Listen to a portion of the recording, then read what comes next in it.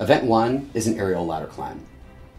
Candidates will climb a 105 foot aerial ladder, which is placed at a 75 degree climbing angle. The candidate will ascend the ladder to the top where they will ring a bell. Once the bell is rung, the candidate will descend the ladder. Your time will start when the proctor says go and stop when the candidate reaches the turntable with both feet. This event will be completed wearing a turnout coat, helmet, gloves, and will be secured with a class 3 harness on belay. Time limit is 4 minutes.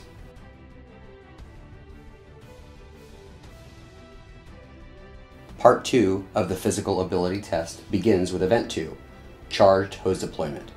Candidate will advance charged sections of inch and 3 quarter hose with nozzle 150 feet in length. A painted line on the ground will identify the start line and completion line. The running clock will start once the candidate crosses the start line. This event will be completed wearing a turnout coat, helmet, and gloves. The candidate will begin by grasping the rescue mannequin in a manner that simulates removal of a victim or an injured firefighter. You may not use the DRD. You must drag the mannequin through two cones at the start completion line, 57 feet down to the single cone.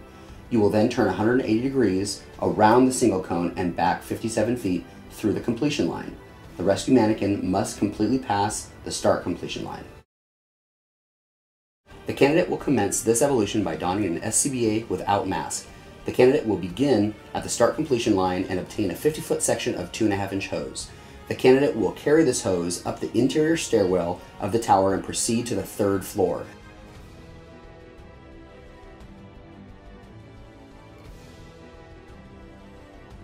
They will drop off this section of hose on the identified X on the third floor and continue up the interior stairwell to the fourth floor exterior landing. Here you will raise a 50 foot section of rolled 2.5 inch hose using the hand over hand method and place the hose on the fourth floor landing.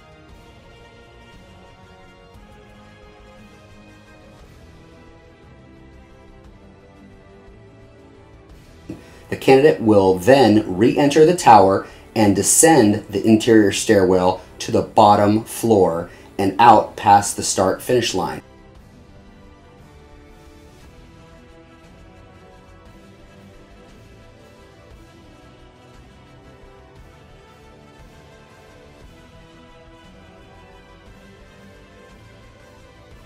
With both feet past the start finish line, they will re enter the tower to the third floor and retrieve the hose that was dropped off on the X. Once this hose is retrieved, the candidate will descend the tower with the hose, place the hose back in its original location across the line, and continue across the start completion line.